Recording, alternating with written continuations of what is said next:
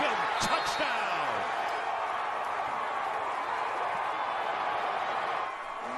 Well, the good news is you don't